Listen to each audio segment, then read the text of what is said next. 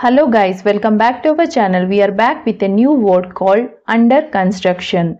In English, it means a building structure or project that is unfinished but actively being worked on. यानी कोई भी निर्माण का काम जैसे कि एक बिल्डिंग बनाना एक फ्लैट बनाना ये एक अपार्टमेंट बनाना या फिर कोई प्रोजेक्ट बनाना जिसका काम अभी तक चल रहा है अभी तक वो पूरी तरह से कंप्लीट नहीं हुआ है, उसे कहते हैं अंडर कंस्ट्रक्शन इसका हिंदी मतलब होता है निर्माणाधीन. For example a new rail road is under construction यानी एक नया रेल मार्ग निर्माणाधीन है. इसी के साथ मिलते हैं एक नए वीडियो नए शब्द और इसके अर्थ के साथ. ऐसे वीडियो देखने के लिए चैनल के साथ जुड़े रहिए और चैनल को लाइक शेयर सब्सक्राइब कीजिए. इस वीडियो में बस इतना ही. धन्यवाद.